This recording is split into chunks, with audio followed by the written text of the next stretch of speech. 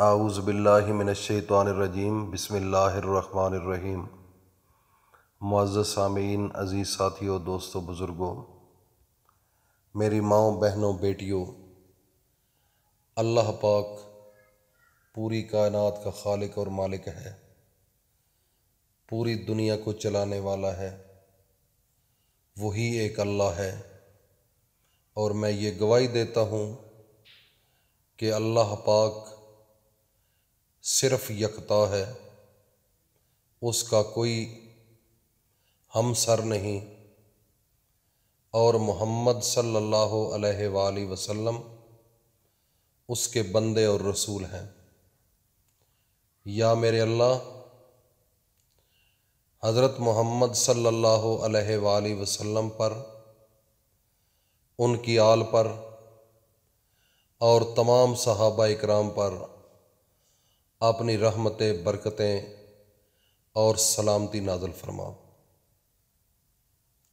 आज की वीडियो आपके पास सूरत बकरा की आखिरी दो आयात के मुतलका है और कुरान मजीद अल्लाह की आसमानी किताब है और आखिरी किताब है और इस कुरान मजीद के एक एक लफ्ज़ में इतनी ताकत है कि जिसके कलब पर नाजल हुआ हज़रत मोहम्मद अलैहि वसल्लम पर उनके कलब अतर पर उतारा गया तो जब आपकी शहादत उंगली उठती तो चाँद के भी दो टुकड़े हो जाते। ये अल्लाह का नूर है, ये अल्लाह की अता है। तो इसलिए आज की वीडियो स्किप किए बगैर तमाम वीडियो को सुने और इसको बड़ी बगौर से कोई बात रह न जाए और बगौर से सुने। आसमान से एक फरिश्ते ने हज़रत मोहम्मद सल्लल्लाहु अलैहि वसल्लम की खिदमत में हाज़िर होकर सलाम अर्ज़ किया। फरमाने लगा कि खुशखबरी हो।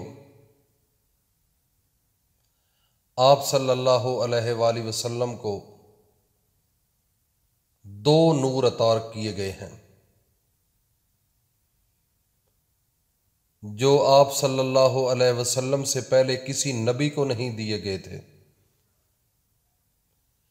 एक सूरत फातिहा है और दूसरी सूरत बकरा की आखिरी दो आयात। हज़रत मोहम्मद सल्लल्लाहु अलैहि वसल्लम इनमें से जो भी पढ़ेंगे वो आपको मिलेंगे। यानी अगर तारीफ़ी कलामात में, यानी कि ये तारीफ़ी कलामात हैं तो तारीफ़ करने का सवाब मिलेगा। और अगर दुआ का जुमला है तो दुआ कबूल की जाएगी। ये मुस्लिम शरीफ हदीस के अंदर अल्फाज मौजूद हैं। अबू मसूद अंसारी रज़ी अल्लाह तु से रवायत है कि जो शख्स किसी रात सूरह बकरा की आखिरी दो आयात पढ़ ले तो ये दोनों आयतें इसके लिए ही काफ़ी हैं। उलमाए कराम ने इसके दो मतलब निकाले हैं। एक ये कि वो इस रात हर बुराई से महफूज रहेगा दूसरा ये कि दो आयतें तहजद के कायम मकाम हो जाएँगी। जो इंसान तहजद पढ़ता है और तहजद का जो सवाब है, उसके बिल्कुल इज़ इक्वल टू इस दो आयात का भी सवाब होगा। अल्लाह ताला ने सूरत बकरा को ऐसी दो आयतों पर ख़त्म किया है जो मुझे इस ख़जाना ख़ास से अता की गई हैं, ये मेरे नबी हज़रत मोहम्मद मुस्तफ़ा की ज़बान है, उनकी बात है। वो फरमाते हैं कि जो ख़जाना ख़ास से मुझे अता की गई, सूरत बकरा का अख्ताम उन दो आयात पर हुआ जो अरश बरी के नीचे से एक खजाना है, उसमें से ये अता की गई। तो लिहाजा इनको सीखो और याद कर लो और अपने घर की औरतों को, बच्चों को भी सिखलाओ और उनको भी याद कराओ। इसलिए कि वो सामान रहमत है और हासिल कुरान भी है और एक बहुत अजीम दुआ भी है। तो ये है सूरत बकरा की अहमियत और फजीलत। हज़रत मोहम्मद सल्लल्लाहु अलैहि ने इरशाद फरमाया, आपने कब्र, घरों को कब्रिस्तान ना बनाओ। यानी कि अपने घरों में इबादत किया करो और शैतान इस घर से भाग जाता है, जिसमें सूरत बकरा की तलावत की जाती है। ये मुस्लिम शरीफ हदीस के अंदर अल्फाज मौजूद हैं। इसकी बहुत बड़ी अहमियत है।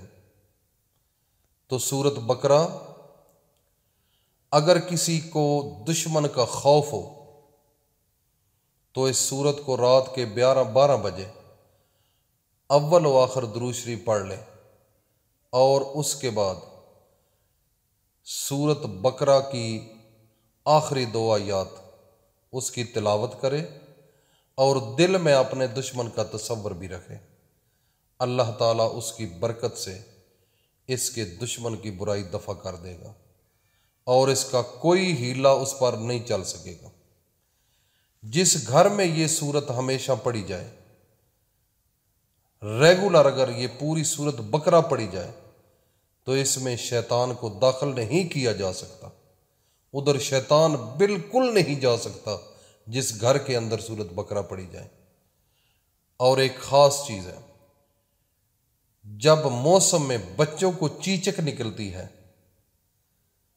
उसमें जिस लड़के के रूबरू निहार मुँह, सूरह बकरा, नहायत खुश अलहान आवाज़ में सही तरीके से पढ़कर दम की जाए, उसको खुदा के फजल से चीचक नहीं निकलेगी। अगर निकलेगी तो ख़तरनाक नहीं होगी, ये शर्त है। और एक बहुत बड़ी शर्त साथ ये भी है कि पढ़ने वाला लड़का हो और दोनों निहार मुँह हो।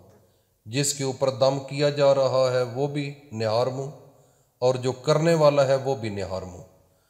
और ढाई पाव चावल लेकर और उसको पका लें। और उसके ऊपर दही डालनी है और शक्कर उस पर डालकर किसी गरीब, मोताज, फ़कीर, मस्कीन, यतीम को सदका दे दो। इन अज़ीज़, उसके ऊपर बिल्कुल किसी किस्म का कोई वो चीचक का असर नहीं होगा। तो अल्लाह का कुरान सूरत बकरा से आगाज़ है, और सूरत बकरा की आखिरी दो आयात शायद आपको पता हो, मैं पढ़कर भी आखिर में सुना देता हूँ। आउज़बिल्लिमिनशैतानरजीम बिस्मिल्लाहिर्रहमानिर्रहीम आमन रसूल बिमा उनजिला अलैहि मिर रब्बिही वलमुमिनून कुल्लुन आमन बिल्लाहि वलमलाइकतिही व कुतुबिही व रुसुलिhi ला नुफर्रिकु बैन अहदिन। ला नुफर्रिकु बैन अहदिम मिर रुसुलिही। वकालू समेना वाताना गुफरानका। रब्बना वालैकल मसीर। ला युकल्लिफुल्लाहु नफ्सन इल्ला वुसाहा। लहा मा कसबत वालैहा मकतसब। माँ कसब, माँ कसबत वालिहा मकतसबत। रब्बना ला ला तुआखिजना इन नसीना औ अखताना। रब्बना वला तहमिल अलैना, इसरन कमा हमलतहु। अलल्लजीन मिन कबलना रब्बना वला तो हम मिलना माला ताकत लन बे वहफ अन्ना वगफिर लना वरहमना अंत मौलाना फन फनसुरना कौमिल काफिरीन। सुबहान रब्बिक रब्बिल इज़्ज़त अम्मा यसिफून। मुरसलीन। वल्हम्दुलिल्लाहि रब्बिल आलमीन। ये है कुरान मजीद की सूरत बकरा की दो आखिरी आयात। और अगर आप इसको सही तरीके से पढ़ लेंगे तो आपका मुकद्दर बदल जाएगा। आपकी ज़िंदगी बदल जाएगी और हर दुख परेशानी से आप बच जाएँगे। तो इसका एहतमाम करना। अल्लाह पाक हम सब का हामी नासर हो। असलकम वालेकुम रहमतुल्लाहि व बरकातुहू